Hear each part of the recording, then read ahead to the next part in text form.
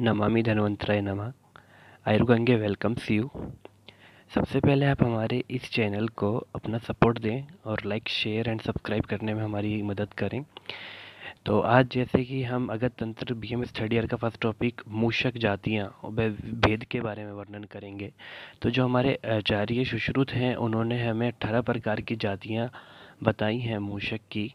या उनको भेद भी कह सकते हैं आप तो उसके लिए एक हमने छोटी सी ट्रिक बनाई है, जिसको हम बोलेंगे अजीत व कृष्ण कपोत।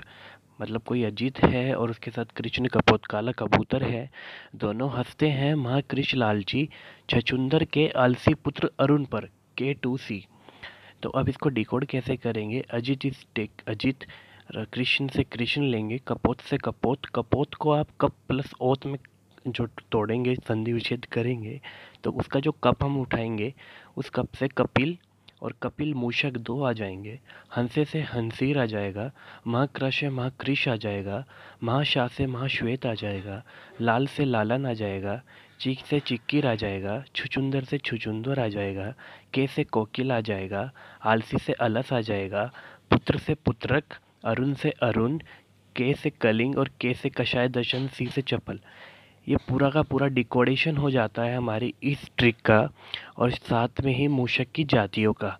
तो इस तरह आपको एक इजी वे में B M S third year का जो हमारा सब्जेक्ट है, अगत तंत्र, उसके एक जंगम विषय की आपको भेद और जातियाँ पता चल जाती हैं। बाकी जातियाँ और भेदों के बारे में भी हम आगे वर्णन करेंगे। कृपया अपना सपोर्ट बनाए रखिए। Thank you so much